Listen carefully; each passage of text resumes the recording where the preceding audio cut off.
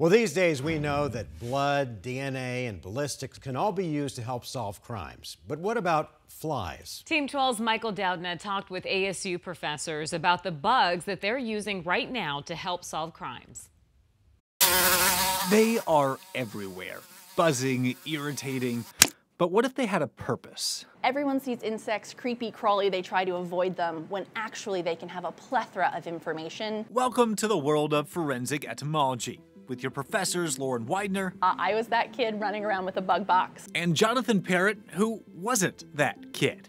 But now, they both use insects to help solve crimes. The main question that the majority of crime scene examiners ask for is that time of death or time of colonization. That's because the time of death often equals the time of colonization. See, the first living things at a crime scene are often bugs. So flies can be there within minutes. Um, I've done some research where we had them arrive in under a minute. And when flies arrive, they start to reproduce. Larvae, maggots, can be a sign of decay or a clear timeline.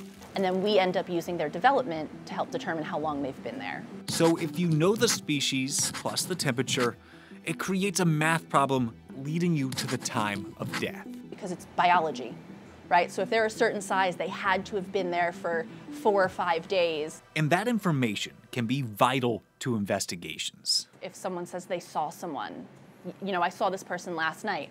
Well, that fly is telling me right now that you didn't see them alive. And the time of death is just one part. Because while flies are everywhere, specific species are not. So if you see flies that aren't native to the area, it could indicate possible movement or relocation. So Lauren and Jonathan have created an entire lab of flies, creating a database of expertise to help extract those clues, helping law enforcement today. I have four cases in the lab right now. For them, the biggest challenge is a change of perspective. From not seeing these insects as creepy, buzzing bugs, but as evidence unlike other types of evidence, this evidence is alive. And unlike humans, flies don't lie. They're not actively, you know, choosing to hide anything. So as long as we understand their biology, they should be able to kind of weed out those lies that we might be receiving from people.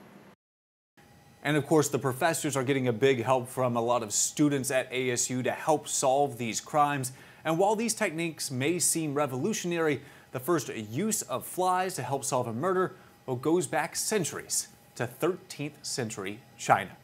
I'm Michael Doudna, 12 News. Okay.